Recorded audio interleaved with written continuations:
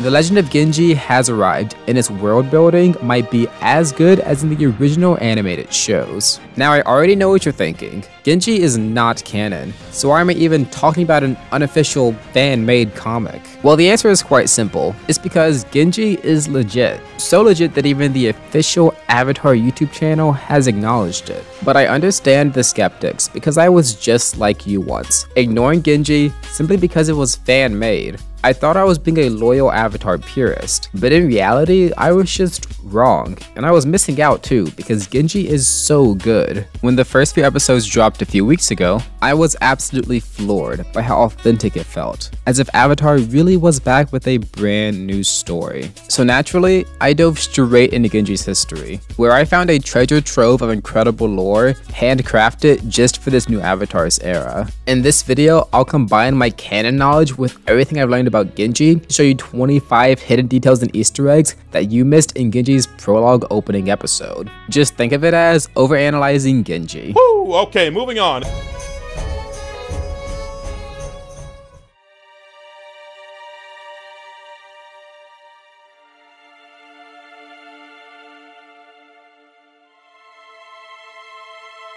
The prologue opens with a close-up shot of three framed photos memorializing Avatar Korra. Because, in case you forgot how this works, for us to get a new avatar for this series, uh, Korra's, uh, yeah, Korra's dead.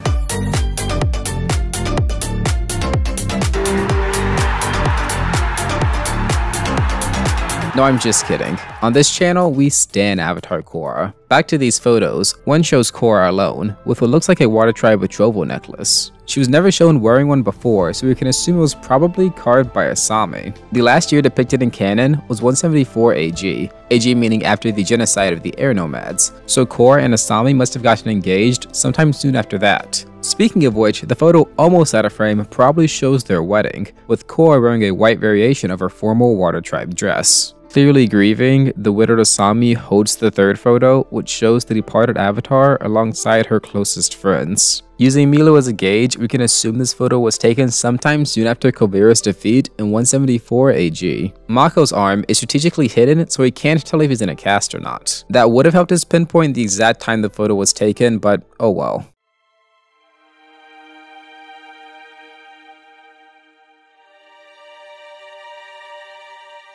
Before we conclude this vigil, I wanted to say a few words. We see that Asami is also wearing a betrothal necklace, and I really appreciate the detailing on it. Along with some more traditional water tribe patterns, Korra also included a little gear icon, representing Asami's work as an engineer. In this shot, we can actually see Jinora back there with the crowd, before she joins Asami on stage. There's a tatted up Master Airbender behind her. It does not look like Kai at all, but it could be Meelo all grown up. A little to the left, we see another female airbending master sporting an airbending necklace very similar to the one worn by Aang and Monk Gyatso. It seems pretty likely that all of Tenzin's kids would be present. So I'll guess that's Ikki standing with her youngest brother Rohan, who is also a master. Finally, we pan out and see that this vigil is taking place in Air Temple Island's ceremony room. So this is the exact same stage where Jinora's airbending tattoos were once revealed.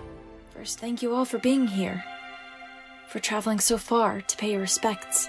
Now, we get a good look at Jinora. I know from reading up on Genji's history that Korra died at the age of 39. That would make her the second youngest avatar, only outliving her waterbending predecessor, Kuruk. So that's a tough look for my wet homies. But that also lets us know that this scene is taking place 18 years after the end of The Legend of Korra, and that the Jinora in front of us is 32 years old in the year 192 AG. What immediately stands out about Jinora is her hair. There's a lot of it, which is just great visual storytelling because it shows how the Air Nation has modernized with the times and abandoned some of their more archaic traditions. Jinora is also donning a cape that's very reminiscent of the one worn by Tenzin when he was the Air Nation's de facto leader.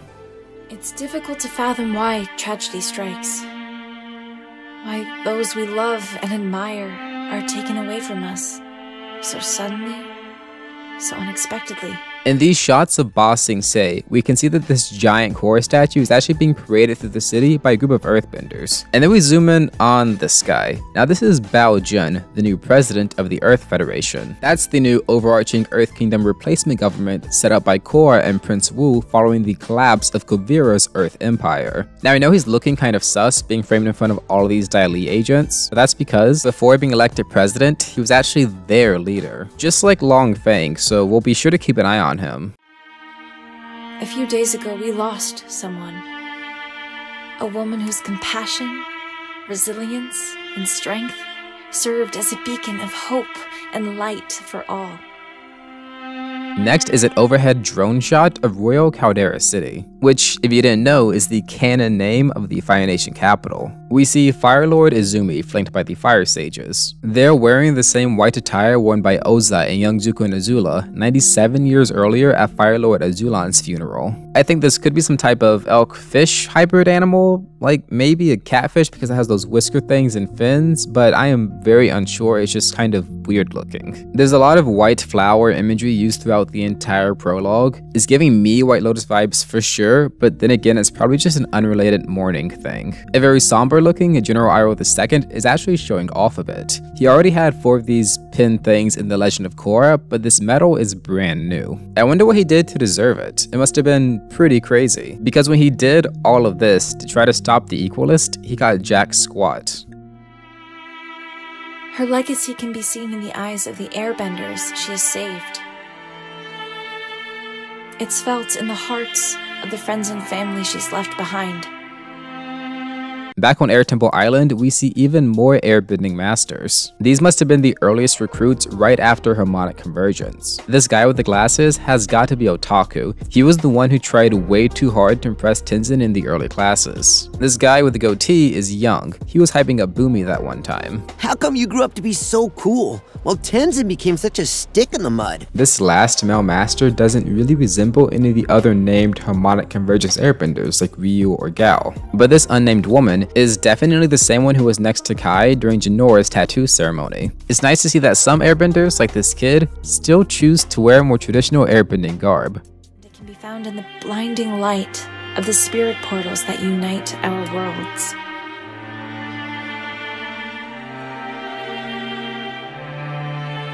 We get a brief glance at all the spirit portals. You might be wondering why the Republic City portal looks just as messy now as it did when it was created two decades before. It's because in one of the canon Korra comics, the portal and surrounding area were declared to be sacred land by President Zhu Li, so clearing out all the spirit vines would be illegal. Yesterday, my father spoke about how all of life is reflected in the changing of the seasons. Life is a cycle. Change is inevitable, and it's something to be embraced, not feared. Next, we get some talk about the seasons. This is a pretty common theme across the entire franchise because Avatar's creators, Mike and Brian, were heavily inspired by the changing seasons. The seasons helped guide them to the idea of the four elements and the cyclical Avatar cycle. And like the cycle of the seasons, the cycle of the Avatar began anew. And you know how the episodes are grouped by book 1 water, book 2 earth, etc.? Well, Bryke almost called them book 1 winter, book 2 spring. So the more you know. And then of course, what's a prologue without a little bit of foreshadowing? We get a blink and you miss it silhouette of a massive dark spirit looming over Genji's world. We mourn the sudden passing of Avatar Korra, but we can also celebrate the birth of a new Avatar. The future may be uncertain, but Korra's spirit lives on. I have faith that the cycle of the Avatar has begun anew. I'll point out now that the song playing throughout the entire prologue is called Sadness, so, you know, Hans Zimmer could never. In the final lines of her speech, Jinora goes on about having faith that the Avatar cycle will continue. The reason that Jinora's reassurance is so important here is because truthfully, they have no idea what will happen now. Following the events of LOK Season 2, Korra lost connection with all of her past lives due to the brief destruction of the Avatar spirit Raava. So for all they know, Korra might have been the last Avatar. Or maybe she became the new first Avatar, they just have no clue. But we of course know that the cycle does continue, and that Genji is the next avatar. And now that I've broken down the prologue, you're ready to dive into chapter 1 and meet all of the new characters, including Genji, the fake avatar Luan, Jinora's son Kelsang, the first black member of Team Avatar Maya, and many more. Leave a like if you want more Genji videos as new chapters release every two weeks. And be sure to check out The Legend of Genji on their official YouTube channel, link below. Hit subscribe if you've rewatched Avatar at least twice, and I'll see you later.